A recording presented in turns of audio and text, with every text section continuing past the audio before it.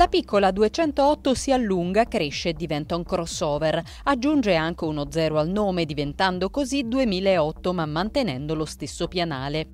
La francesina su cui Peugeot sta combattendo nel segmento più agguerrito del settore vanta marcata personalità, leziosità stilistiche e grinta.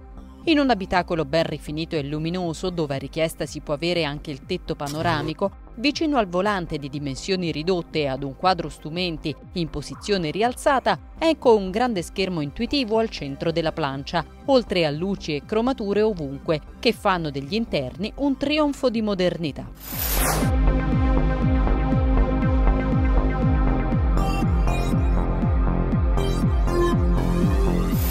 Per la 2008 si è deciso di non toccare il passo dell'auto da cui deriva, ma di aumentare lo spazio mantenendo intatta l'atmosfera dell'abitacolo. Dimensioni giuste quindi per la città e il tempo libero, anche perché messa alla prova con il 1600 turbo diesel da 115 cavalli sotto il cofano, la vettura si fa apprezzare per l'elasticità e l'erogazione fluida della potenza, con una conseguente gradevolezza di guida. Su terreni difficili dove crossover simili sarebbero entrate in crisi, appare disinvolta. Basta toccare la manopola sulla console centrale che il grip control a 5 modalità di guida consente di migliorare la motricità su fondi a ridotta aderenza, assicurando così una migliore trazione.